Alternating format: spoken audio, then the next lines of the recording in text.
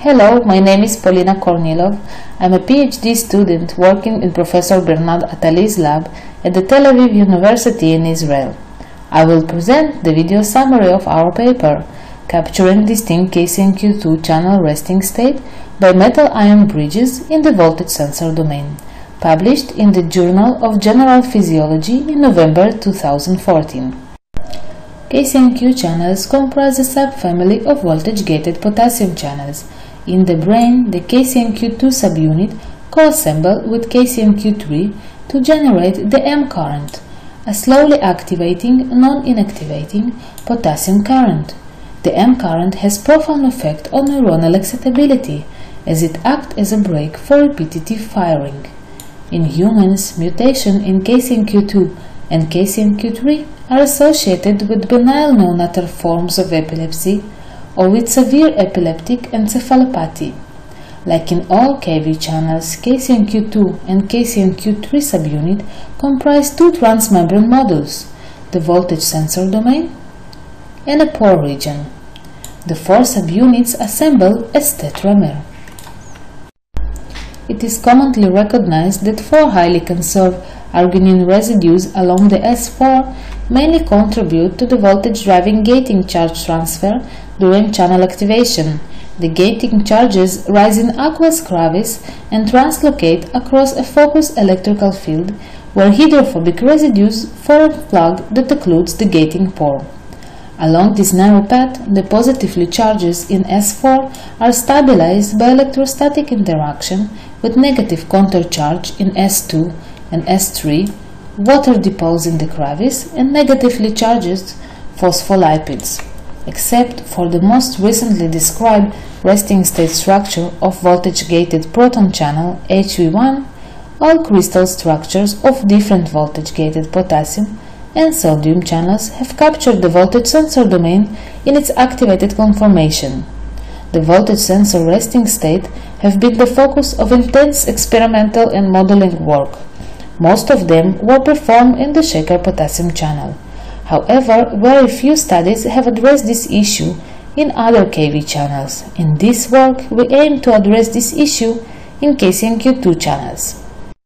In principle, if two externally accessible cysteines are close enough to each other, they should be able to form metal bridges after external application of cadmium ions, or to form covalent disulfide bonds. The wild-type KCNQ2 subunit has only two externally accessible cysteine. Those are cysteine 106 in S1 and cysteine 242 in S5.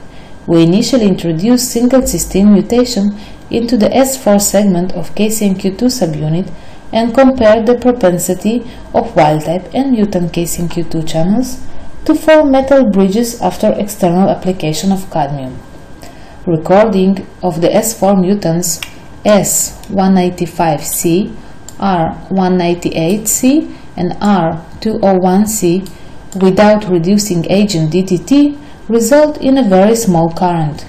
In contrast, a large increase in current amplitude was observed after external exposure of the cells to 100 micromolar DTT for 15 minutes. This implies that in those S4 mutants, disulfide bond probably form spontaneously and stabilize the channel in their closed state.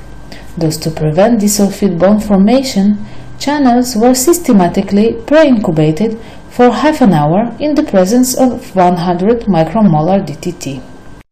In contrast to wild-type KCNQ2, S4 mutant were highly responsive to externally added 100 micromolar cadmium. They show a dramatic reduction in current amplitude which was reversible upon extensive washout, suggesting a strong cadmium coordination. Those results indicate that upon cadmium treatment, metal bridges were formed, which stabilized the mutant channel in the closed state conformation. To find a residue that is sufficiently close to coordinate cadmium with the cysteine S4 mutants, we mutated each of the two externally accessible endogenous cysteine into alanine. Double mutation of C106A and C242A with the S4 mutant were examined. Our results indicate that marked current inhibition was still observed after external exposure to cadmium in each of the three C242A double mutant channel. In contrast, a significant attenuation in the cadmium inhibitor effect was found in the 3 double mutant containing C106A. Those results indicate that cadmium could be coordinated by each of the cysteine S4 mutant and C106 in S1. We explored the state dependence of disulfide bond formation using copper phenanthroline, which catalyzed the covalent disulfide crosslink of closely located cysteine. We initially examined the tendency of each of the mutant to form covalent bonds after copper phenanthroline application at depolarizing voltage, which reflect the channel open state. We found that copper phenanthroline had virtually no effect on the mutant channels in their open state conformation. We then exposed the cells to copper phenanthroline at hyperpolarizing voltages and measured the current amplitude following channel opening. We observe a dramatic reduction in the current amplitude of all three mutants, which could be reversed by externally perfused with 1 millimolar DTT. Collectively, those results suggest that covalent disulfide bonds are likely to form in the voltage sensor downstate conformation between residues cysteine S4 mutants and cysteine 106 in S1. Using a concatenated tetrameric KCNQ2 channel, we determine whether cadmium coordinate between R198C and C106 occurs within the same monomer or between two adjacent subunits. Our data confirm that in the channel closed state, residue 198 in S4 is close to C106 in S1 within the voltage sensor domain of the same subunit. Initial attempts to drive resting state model of KCNQ2 based on the previously published model of KCNQ1 failed because it did not fit with all our experimental constraints. This is probably because KCNQ channels display more than one closed state. To overcome this limitation, three distinct closed state models of KCNQ2 were constructed by applying each of our cadmium bridge constraints. In the open state model, the third and the fourth gating charges in S4 form salt bridges in S2 with glutamate 130 and glutamate 130. In addition, the hydrophobic residue phenylalanine 137 is located between the two interacting pairs. The C3 deep resting state model emerges from cadmium bridges formed between cysteine 195 in S4 and cysteine 106 in S1. In this resting state model, the first gating charge, arginine 198, and the second gating charge, arginine 201 of S4, form salt bridges with glutamate 130 and glutamate 140 of S2, which stabilize the channel C3 closed state. The interacting pairs are located above and below the highly conserved phenylalanine 137. The C2 resting state model emerges from cadmium bridges formed between cysteine 198 in S4 and cysteine 106 in S1.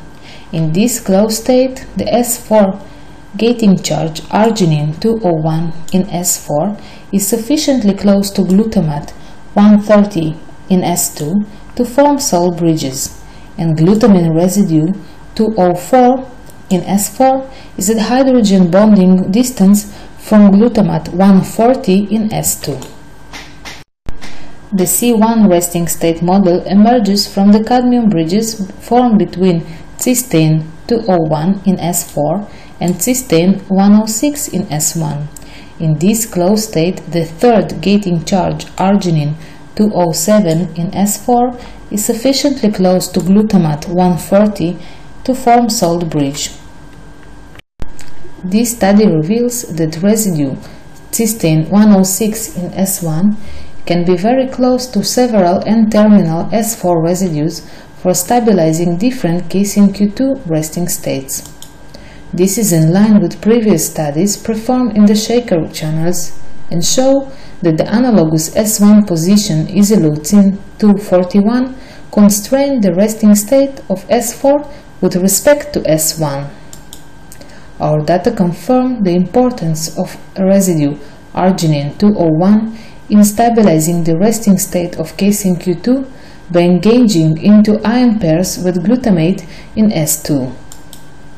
Finally, this work shows that despite certain differences, the KCNQ2 resting state models meet with the emerging consensus of voltage sensor resting state models of KV channels. Thank you for your attention.